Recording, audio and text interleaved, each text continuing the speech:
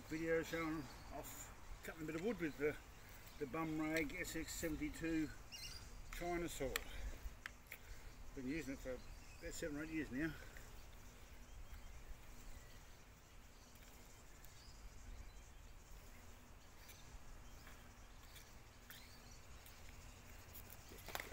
Had some in the shade.